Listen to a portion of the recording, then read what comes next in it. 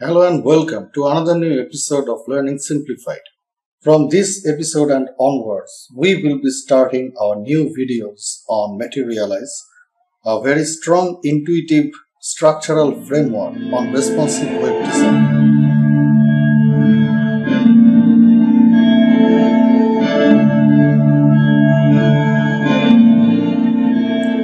Now, what Materialize is? It is practically a responsive framework structure which is designed by Google. Now, what makes it different from this Bootstrap 4 or this Bootstrap responsive framework? Or are they same? The first thing is definitely not.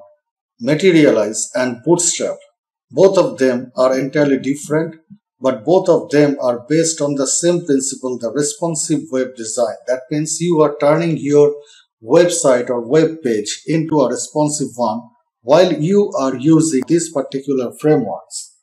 Now in this respect, there are a variety of components present into this materialize such as these grids and layout.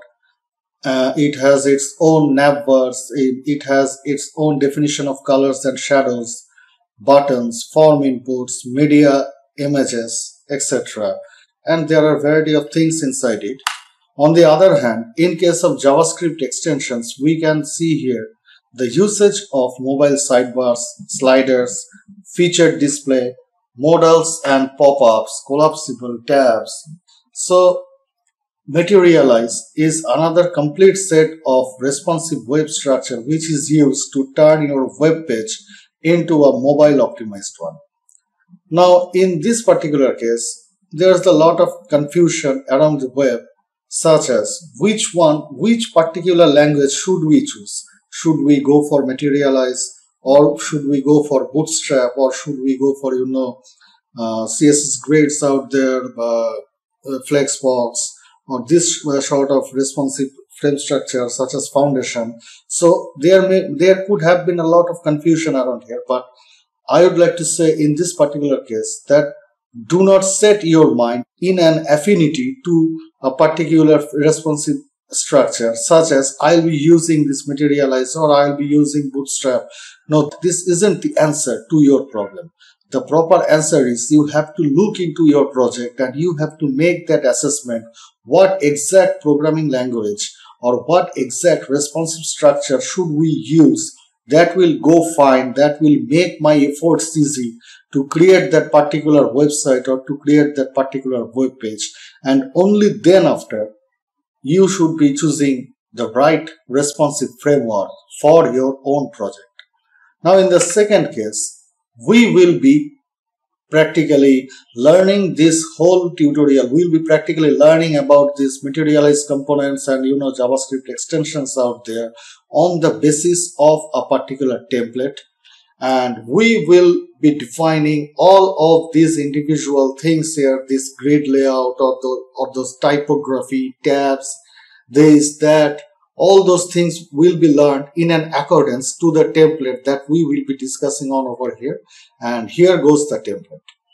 So this is the template that we are practically working on. We will be learning over here how to build up this template. But of course, in the very first case, we have to learn about some basics that we will be using throughout into this project, into this particular template. As we can see over here it has some basic features here such as this slider this menu bar all those individual grid sections over here those are needed. This is practically sectionalized. So we can see that here comes a faint touch of grid structures of materialize that is being implemented over here then we can see that we are practically working on with this particular image this media this media thing over here, this image, and we have to work on this particular JavaScript extension to do all this kind of stuff over here. This is the image gallery that we need to create. And then we can see that this is the tab with an active class into it. And on clicking these several parts, we can see that we may surf into different contents. Those will be created in this particular respect. And at the end we can see that on clicking this open sesame this is the thing that we will be building on. This is known as featured display which is an indisposable part of materialized responsive frame structure.